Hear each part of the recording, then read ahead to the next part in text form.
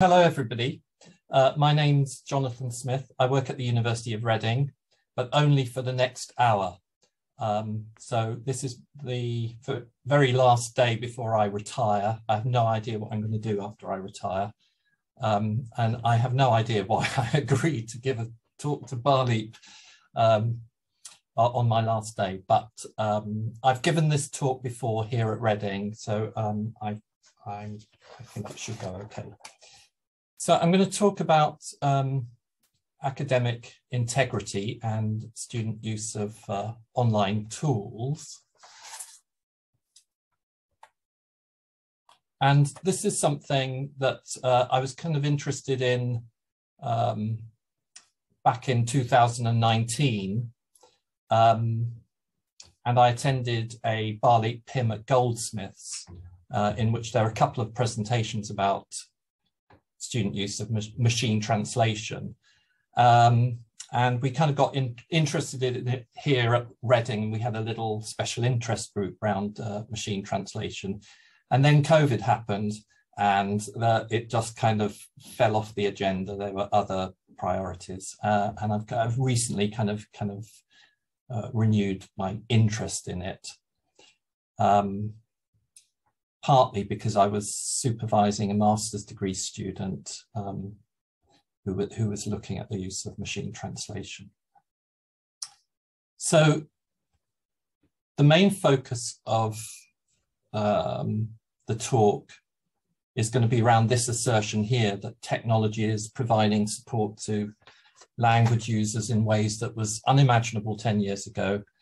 And that's um, support that no longer has to be mediated by humans. So artificial intelligence and natural language processing um, developments have, have, meant that uh, you can now get feedback from the machine rather than the person, and that this feedback can be, be pretty helpful.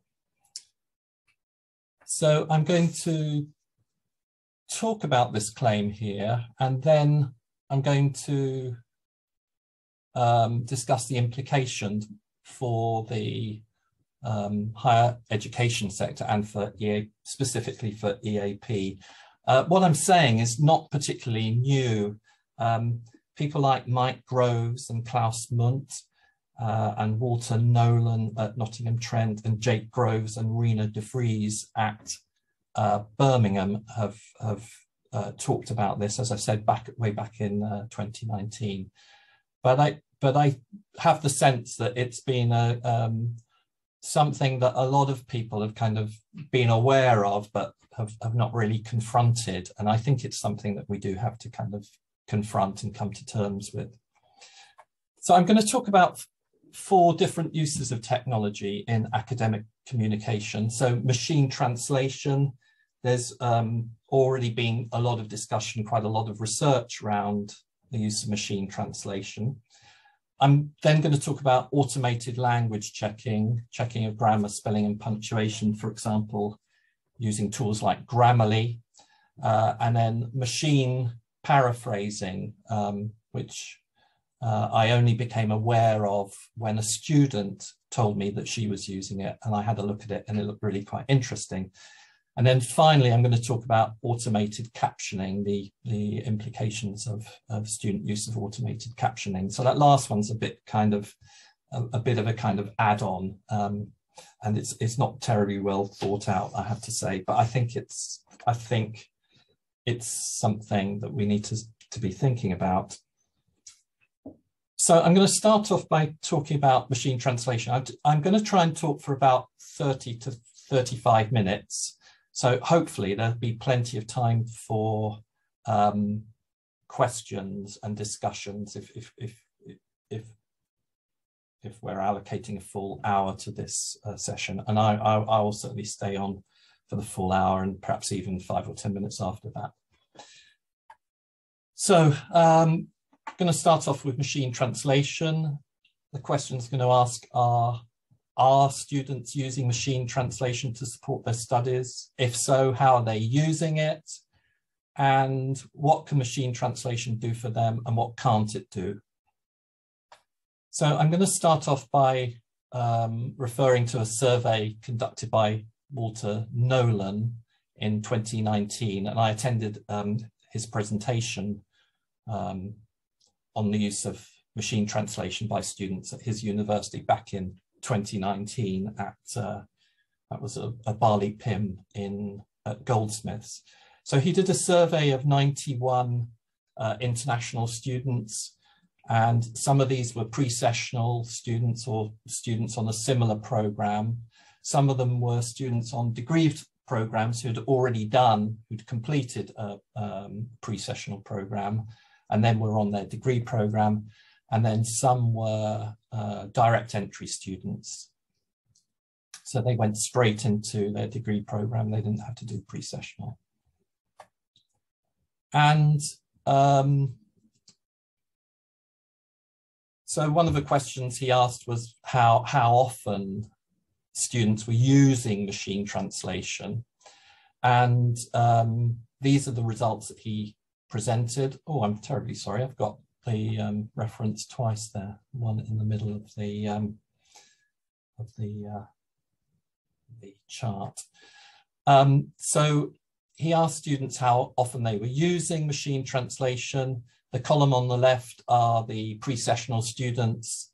The that's the green column. The blue column are the students who um, have uh, done a pre-sessional course or similar uh, and are now on their degree program. And uh, the column in yellow are direct entry students. So about 80% uh, reported using machine translation and about 60% said they use it sometimes, quite often, or most of the time. And about 30% said they used it quite often or most of the time. So that's, that's quite a significant percentage, I think. Um, you can see that there's less use by direct entry students. Um, and you, this is to be expected because on average, um, directory, direct entry students have a higher level of English than students who've done pre-sessional program.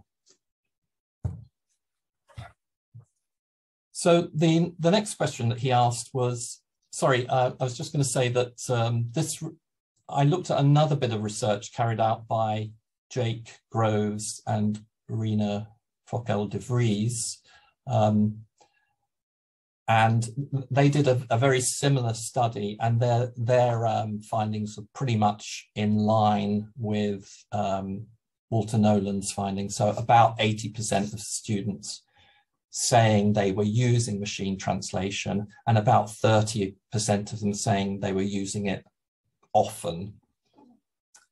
Um, Walter talked a little bit about how they're using machine translation. So the, you know, the, the, the question is, are students using it for um, reading or for writing? When I first became aware of it, uh, I was teaching on a pre-sessional program and I kind of became aware of students using it for, for, for producing essays for their writing. But then uh, I talked to colleagues who are working on in-sessional programs and they were telling me anecdotally that, that students who were on a, an ESAP course, uh, these were students in accounting and finance who had to read a, you know, a, a kind of set text on, on um, finance, a, a, really thick tome, when they were um, reading from that text uh, in, in sessional classes, they were actually just taking their phone out and, and sort of scanning the text with their phone. So they were reading the whole thing in English. And, uh, and, and I was told that they were all doing that. Uh, it, the person who told me that was had a had a class which I think were almost entirely Chinese students. So um, so it's so it's clear that students are using machine translation for both writing and reading. So here, reading, uh, most students say they are using machine translation mainly for translating words or phrases. Um, but notice here, if you if if you look the um, pie chart on the left are those students who are on on a, on a pre-sessional course, EAP course. When they get onto their degree program, and that's a pie chart on the right, you'll see that there is a green segment suddenly appearing, and that's the whole text. So you can see that when students get onto their degree program, where the reading load is probably significantly heavier than on their pre-sessional program, then they use machine translation for more of the text, large parts of the text, or the or even the whole text itself. So some students are very, very reliant on machine translation to read texts. When it comes to writing,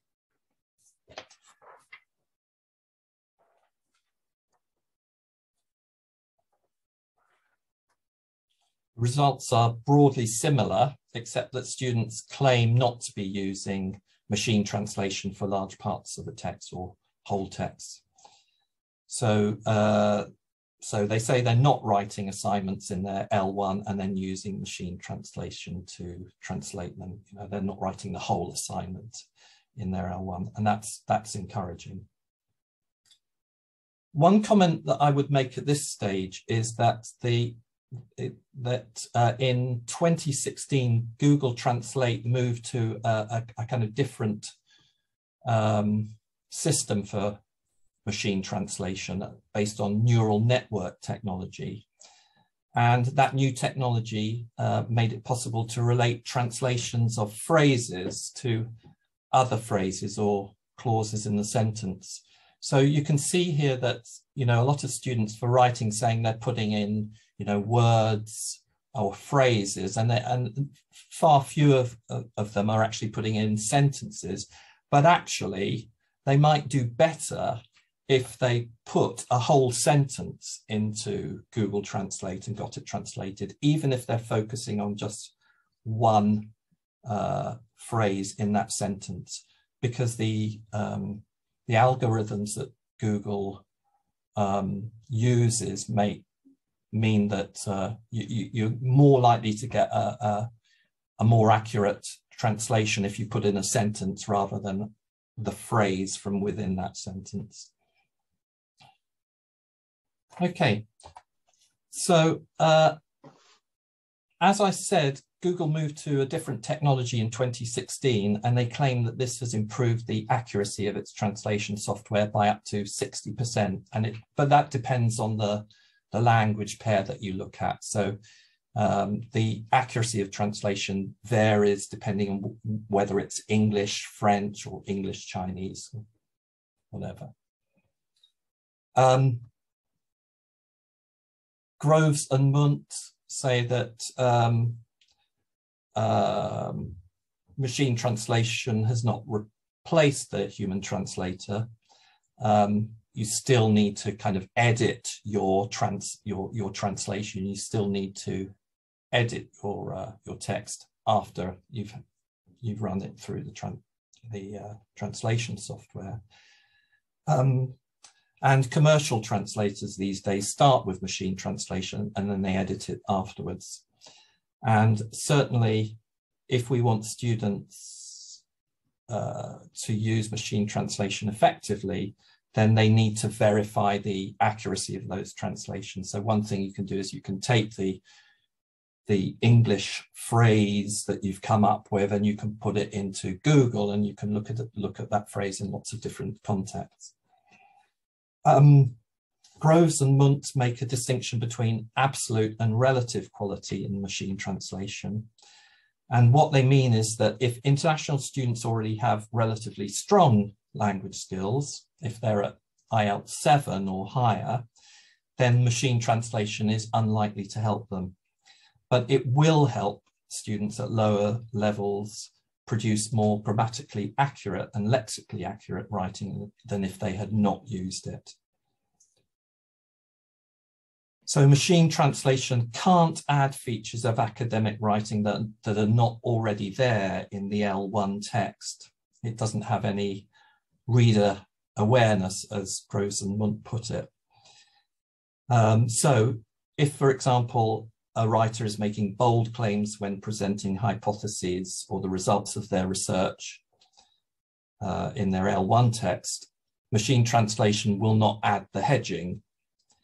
But if there is hedging there in the L1 text, then it's likely that machine translation will translate it accurately and appropriately. So I haven't really talked about machine translation and academic integrity. Obviously, if you just find some L1 content, machine translate it and pre present it as your own and hoping perhaps that Turnitin will not pick this up, uh, that is likely to be judged academic misconduct. And opinion has been divided about whether machine translation of your own writing is acceptable or whether it's viewed as poor academic practice or academic uh, misconduct. And that's whether you're doing with the, with the whole text or just part of the text. Groves and Mundt argue persuasively that since machine translation doesn't change the content and it, it can't improve the content, and that since translation is used extensively by academics anyway to read texts in other languages, um, the use of machine translation on your own writing should not be regarded as an offence.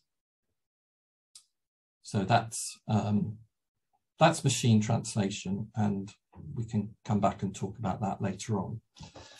I'm going to move on and talk a little bit about um, language checking tools, and I'm going to look at Grammarly because I think you know a lot of people have heard of Grammarly and may actually uh, have used it. Uh, I'm going to show you Grammarly in a moment, but um, tools like Grammarly typically check for grammar, punctuation, and spelling errors, and they claim that they're also able to check for clarity and appropriate style. Um, I have um, reservations about that latter claim. I, I don't think that what Grammarly says about clarity and style is particularly helpful. Um, I think Grammarly tends to flag up minor non-impeding errors. So things like, you know, use of determiners, subject verb agreement. It certainly misses errors and it flags up as errors language that's acceptable. We'll look at that in a moment.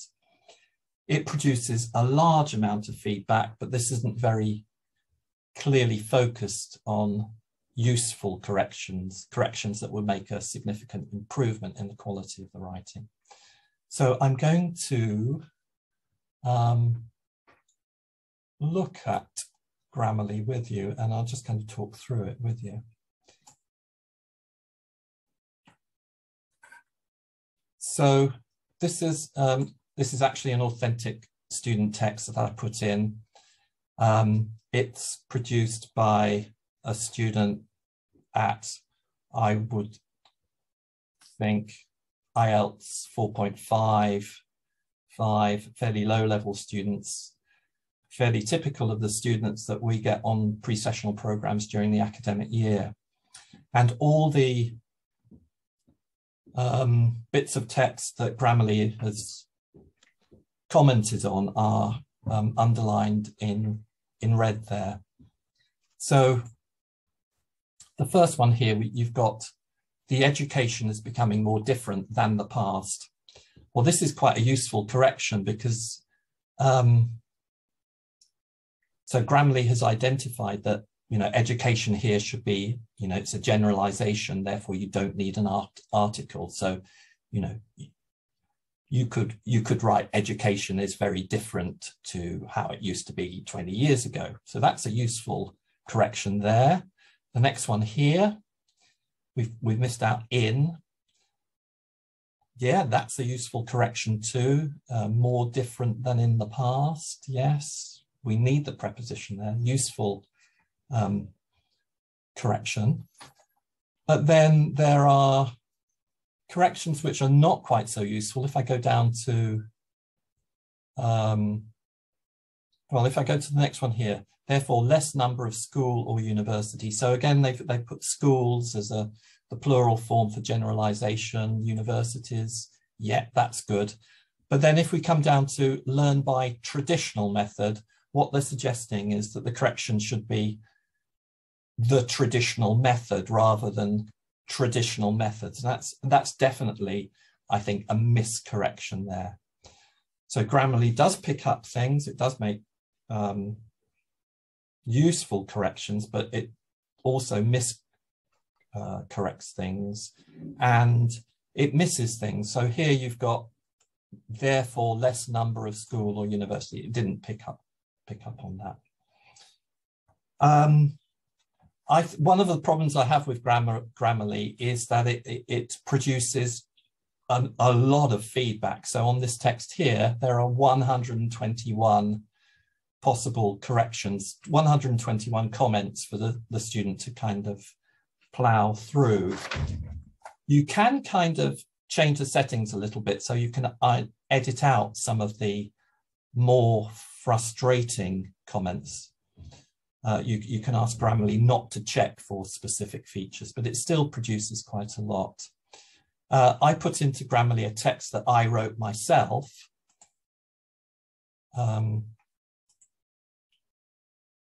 on authoring tools. And it suggested 100, it, it, this was a text of, I think, about um, a page and a half and it came up with 110 suggestions. So I think, you know, I, I, I, would hope that none of them were actually sort of grammatical errors and they're, they're, mainly sort of stylistic things. Um, what have we got here? Yeah.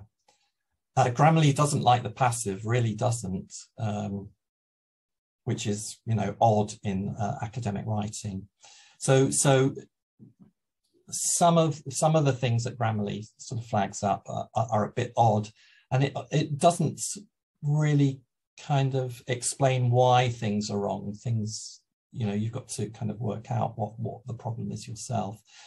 Grammarly, I think, works quite well if you are using it with a teacher, and um, there are a couple of studies by academics in Australia who who used Grammarly um, as part of an in-sessional program and, that, and, they, and they reported quite positive results. So that's Grammarly. Going back to the presentation now. So students um, in general find Grammarly useful. Um, I personally have I, I, I have reservations about how, how useful it is um, for students. I think students could spend an awful lot of time using Grammarly for very kind of meager benefits.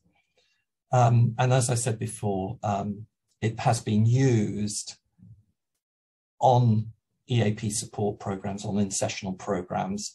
So I think if the teacher helps students to use Grammarly critically, then, then it's much more, it'll be much more effective than if the student is uh, using it without any kind of support at all.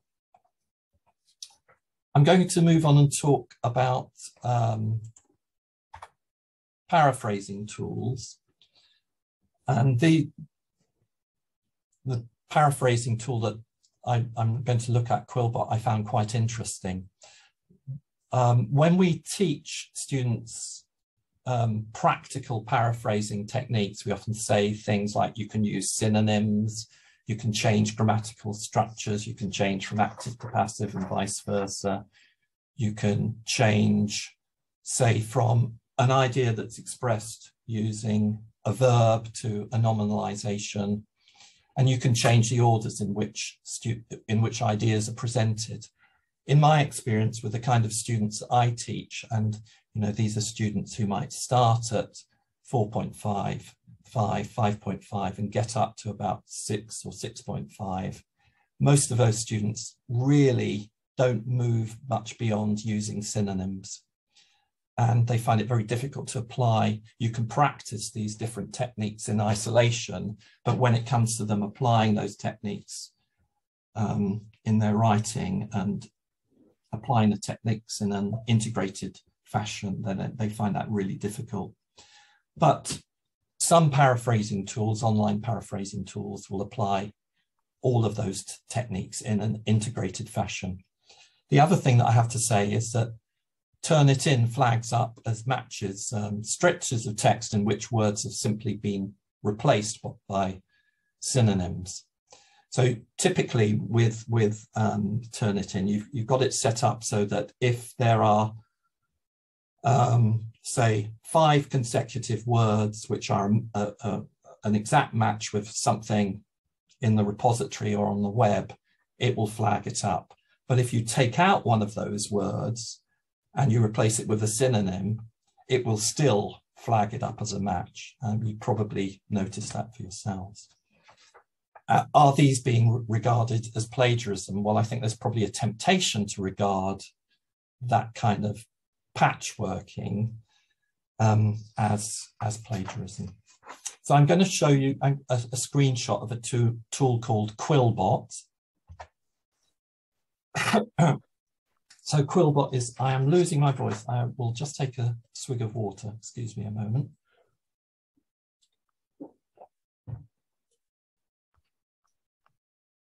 So um, Quillbot, like most tools, there's a free version and then there's a paid for version.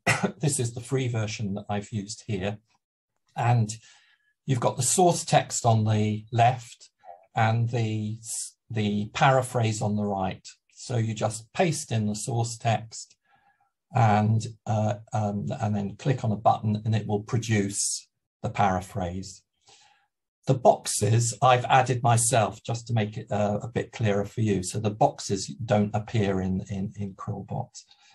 But if we look at some of these things, um, so the first thing we've got is um, the traditional norms of intertextuality in the original text.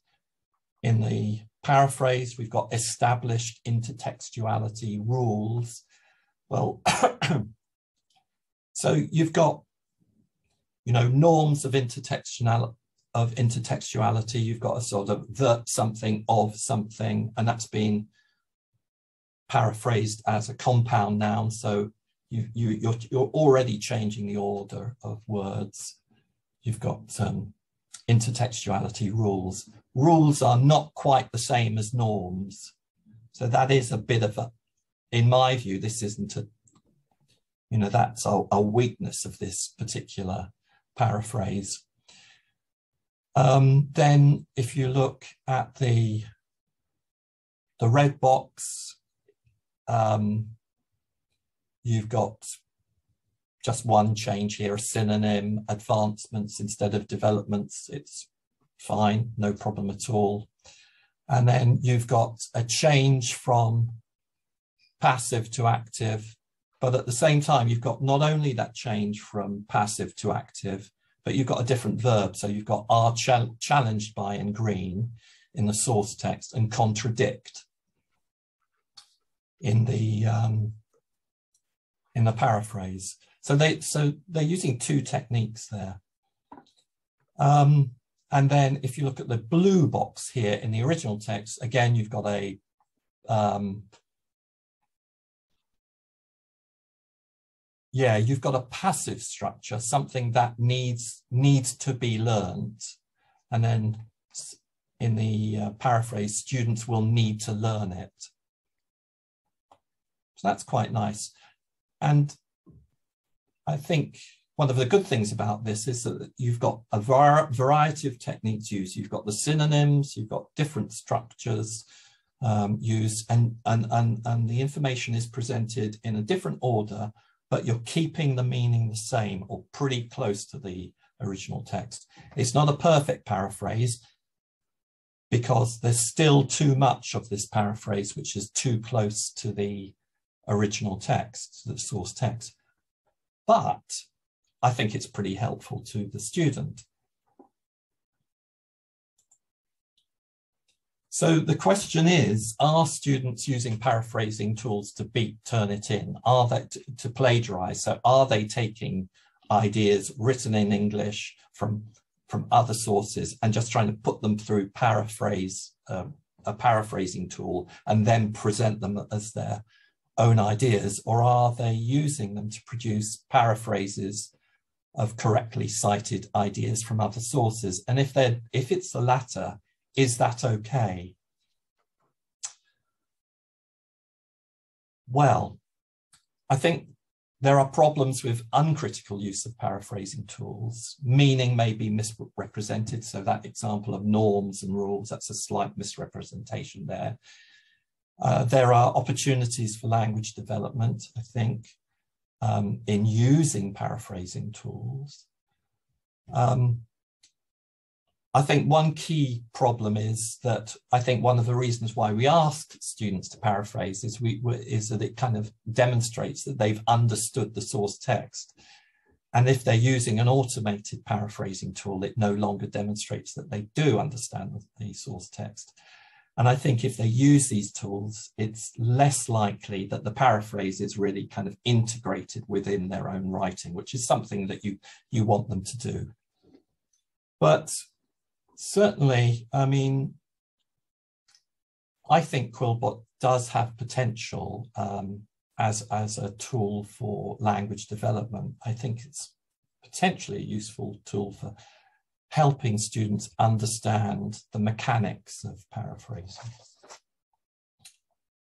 Um, there's been little research into paraphrasing.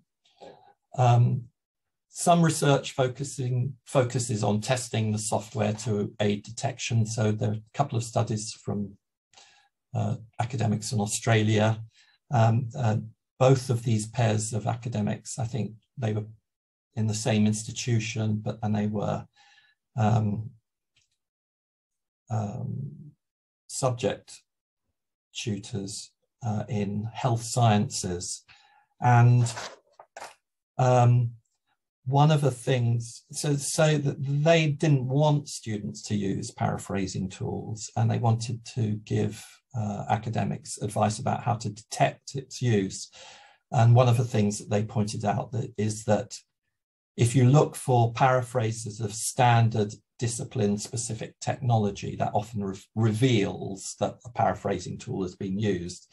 So for example, in their field, the, the term emergency department in a, in, a, in a hospital is not, is not a term that's normally paraphrased, but in student paraphrases, it was coming up as crisis center. Well, a crisis center, whatever it is, is not an emergency department in a hospital.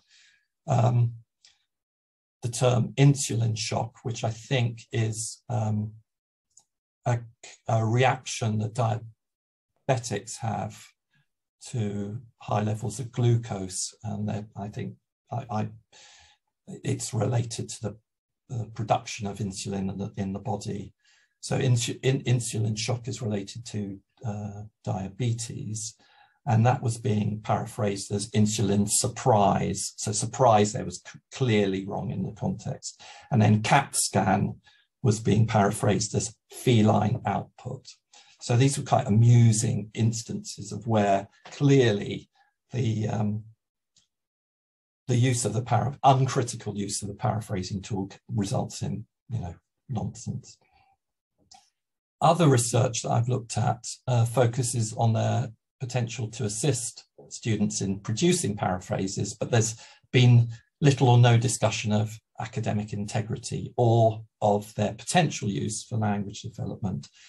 So these two approaches represent different ends of the spectrum from a focus on, on gatekeeping to a focus on dis responding to the student's immediate needs. Um, and none of the studies that I've seen explore how we can help students to use these tools critically and at the same time meet academic standards.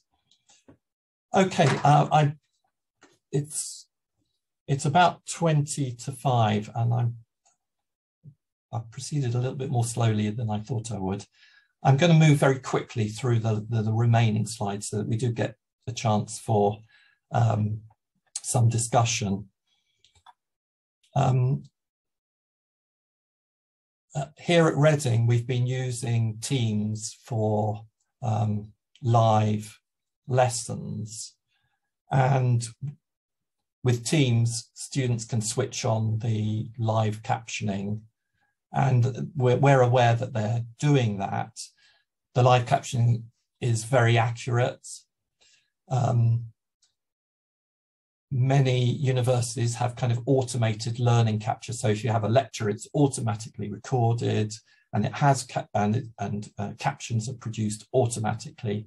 They can be edited before making the, the recordings available to students. Um, and in fact, if you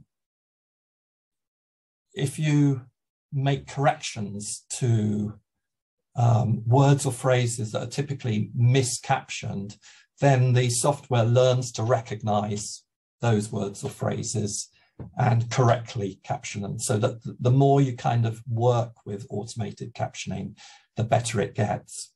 So, you know, if students are using automated captioning, what are the implications for the development of listening skills in a second language? Is it even worth bothering teaching listening skills?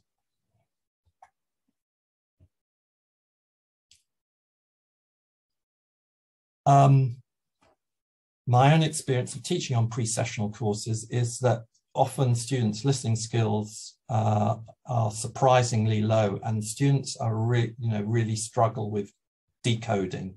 That's just making sense of what they hear, let alone, you know, making decisions about what are key points and what are not key points and, and, and note taking. They struggle just to understand. So automated captioning for them is potentially really, really useful. Um, so I think there are two future scenarios. I mean, one is that students fail to improve their listening skills because there are fewer situations in which they have to decode. But the other is that they that automated captioning could help them improve their listening skills if they use it judiciously, if they use it to help improve word recognition. And if they don't go immediately to the automated captioning, if they listen without it and then listen again with it. So um, where does EAP go from here? I think we need to research student use of online text processing tools. So there's been research into use of machine translation. I think we need to research how they're using those other tools. We, we need to understand those tools better. How can they help students and what can't they do for students? That's really important too. And then I think we need to train students and teachers how to use those tools. This is very difficult because the technology is developing all the time. There are new tools coming in. Which tools do we focus on? I think the language knowledge is still important, but do we need to teach forms for, for production? Um, um, do we need to assess um, accuracy in production? And I think some universities have, have already kind of responded to this. So some universities, for example, uh, on, on their PSE programs, they no longer assess accuracy control of language, control of grammar and vocabulary in coursework, which students have been doing out of class, and they only assess it in exams where you can you can you can theoretically check that they're not using tools to help them. Um, do universities need to review academic integrity policies? Do we need more nuanced guidance? In the case of Reading, I can only really speak about uh, uh, Reading. Yes, definitely. We because at Reading, there's there's very little guidance for, for students on the use of um, of, of, of, of language checking tools or uh, machine translation. It's it needs to be much more specific. And again, yeah, what are the, the, the implications for assessment? And then finally, what, what does um, a degree, what does a degree from a UK university now say about someone's um, proficiency in English? So it used to be the case that um, it, it used to be the case that um, if you have a if you've got a degree from a UK university, that's evidence that you could communicate to a certain level in both spoken and written English, um, and, and that you could go on to do a professional job that requires communication in English. And I'm sure that this is an idea that this idea that um, a degree has a kind of intrinsic language value is something that the UKHE sector would like to preserve, but I don't know whether we can, I don't know for how much longer we can argue this case. And I think when it comes to employers, I think employers are voting with their feet. So most large automated translation projects are tailor-made for enterprises. So companies are already using um, machine trans translation, for example. Um, multinational companies are already using it. They, they use it because it will save them money and time and it will achieve consistency. Um, so um, if they use uh, automated communication across different languages, then they don't necessarily need to employ traditionally bi or multilingual staff. So I think what they're looking for is for staff with skills in digital forms of international communication, not necessarily traditional forms of communication. And finally, I don't think we should be despondent. We want our uh, international students to do well and technology may help them com compete on a, on a more level playing field. So ultimately, universities about constructing truth and knowledge across a wide range of disciplines, and for international students to be spending a lot of their time on, on their language skills, that can impact that can impact on what they what they can achieve in their subject area. So for EAP, where we're constantly under threat of time, I think technology will potentially free up time to focus on those aspects of teaching and learning for which a human teacher is still really needed. So hopefully we won't have to spend hours and hours looking at students' drafts of writing assess assignments and trying to decide whether or not to flag up language errors. And students won't have to spend hours selecting different grammatical structures and lexis to use when they're drafting or on responding to feedback when they get it wrong. And I think that should be liberating for both students and teachers. That's the end of my presentation. I'm sorry I've talked for much longer than I had intended to, but I'm quite happy to stay on for um, 20, 30 minutes if, if necessary. Um, let me see, I'm just going to get the chat up. Okay.